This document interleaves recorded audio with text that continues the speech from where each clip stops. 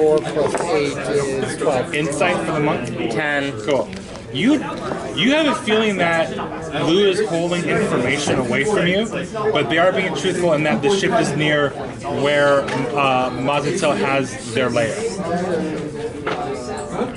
How does one become a acolyte of Mazda? What are the, is there a book, pamphlet?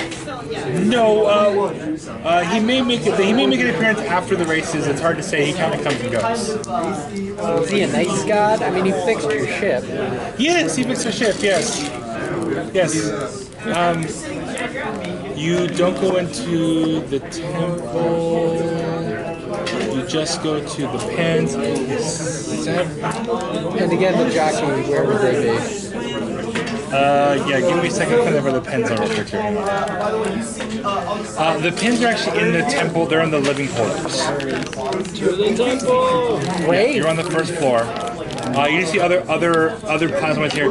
Um, there are several rooms that have been converted into the dinosaur pens. Uh, there are pens for the large dinosaurs uh, near the temple walls.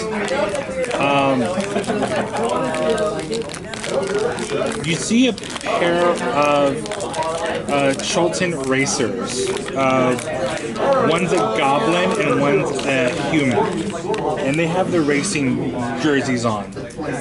Um, they're watching over a pair of, of uh, three of the sleeping smaller ones, Dio- Deinonychuses. And the Deinonychuses and the Allosaurus, they don't look well. Uh, you see scars on the body of the Deinonychuses, and the young Allosaurus just looks exhausted. Is there space peanut?